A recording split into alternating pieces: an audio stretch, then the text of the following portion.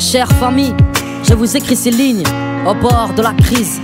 Je mettrai fin à mes jours après cette lettre, mais j'en ai gros sur le cœur, il faut que je vous dise. Ces derniers temps, je vivais sans plus trop y être. J'agonisais à petit feu, épuise mes dernières forces dans ce mal-être.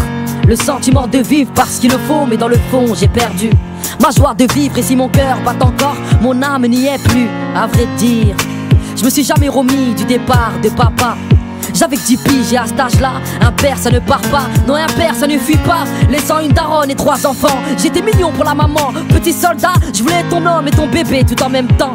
Chagrin d'un cœur en peine, je suis de ces gosses qui ont appris à détester avant de dire je t'aime. Je suis ce gosse à la jeunesse manquée qui donnait en violence l'amour d'un père qui lui manquait. J'ai trop de choses à dire, mais je crains qu'il soit trop tard. Ton absence a été si dure que je ne peux plus t'appeler papa. Alors comprends ma rage et cette rancune tout à coup sûr. J'en ai des cicatrices qui indiquent le temps guérisse les blessures. J'en veux à lui et puis merde à vous tous. N'ayant pas vu que mes chansons appelaient au secours, n'ayant pas vu que mon silence cachait de la douleur, que mon sourire était forcé, que de la mort je n'ai plus peur. Je n'ai plus de raison de vivre, plus de raison d'y croire. J'ai épuisé mes dernières forces, il n'y a plus aucun espoir. J'ai gâché mes rêves, moi qui espérais faire carrière dans le football professionnel. Ivre de dégoût, alcoolisé dans des regrets. Je ne trouve plus le sommeil, je ne trouve plus le remède pour apaiser.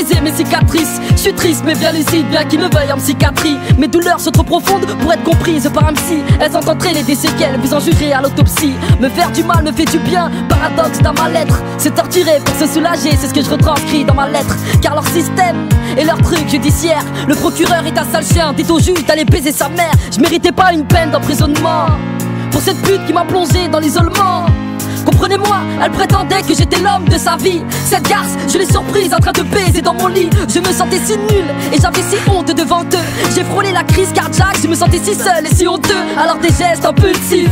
J'aurais pu être accusé de meurtre, mais ce ne fut qu'une tentative. L'histoire était si belle, celle qui donnait un sens à ma vie m'aurait-elle poussé au crime passionnel? En attendant un petit mams des cas, y avait de ça quelques semaines. Tu m'as brisé en me faisant ça, me tromper sans même te protéger. Suis-je vraiment le père de ton enfant ou ce fils de avec qui t'as baisé L'être humain n'est qu'une erreur conçue pour faire du mal, du mal. Il est temps que je m'en aille, sinon je vais tous vous buter pour me faire du bien. Je n'ai plus d'encre, j'ai dû finir d'écrire avec mon sang.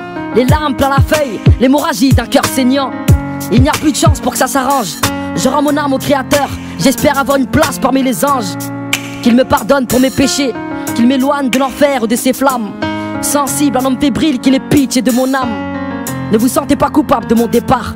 Vous avez toujours voulu me voir heureux, alors ne pleurez pas. Car c'est un choix, je serai mieux là-bas. Et vos larmes, je les mérite pas. De la part du petit dernier, votre petit gamin, je veillerai sur vous du ciel, parmi vos anges gardiens.